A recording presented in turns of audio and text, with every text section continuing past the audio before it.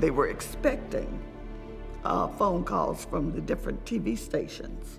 We got some awful phone calls calling the church and what y'all N-word doing up there today. And so I took a little break, just, you know, walking around the church.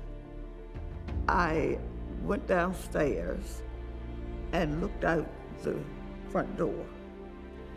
And there's a building across on the next street.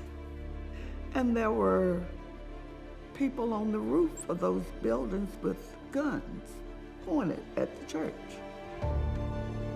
You don't know what they're going to do.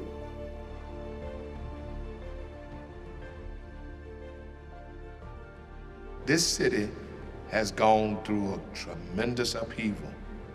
Danville was a tough spot doing civil rights. Over the years, that Dr. King had said, if Birmingham had not taken its course in the summer of 63, then Danville would have been one of the major civil rights spots.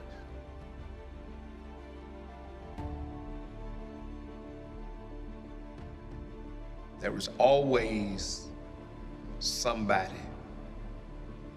who's willing to cross the line. And I think that may have been the magnet that drew so many people's attentions to Danville, because there were white folk who would cross the line. They didn't care about the death of other people. Hitting children and, and women with huge pieces of wood, we didn't think they would be able to do that. There was nothing that they wouldn't do. The fact of the matter is, black people were segregated from the time they were born to the time they were buried.